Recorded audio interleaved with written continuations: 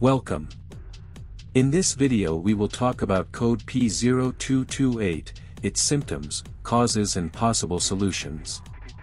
The P0228 trouble code indicates that the throttle pedal position sensor switch C circuit has a high input.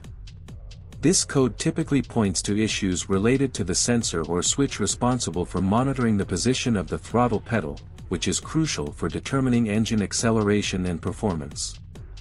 Code symptoms P0228 1. Engine hesitation or stalling. 2. Reduced engine power or lack of response to the throttle. 3. Illumination of the check engine light.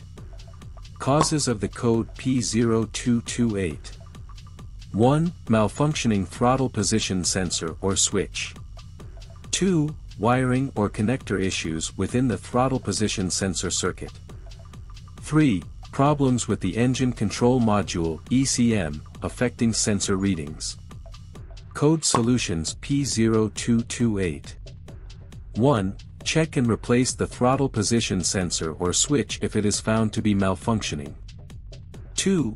Inspect and repair any issues with the wiring or connectors in the throttle position sensor circuit. 3. If ECM issues are suspected, consult a qualified technician for diagnosis and potential reprogramming or replacement.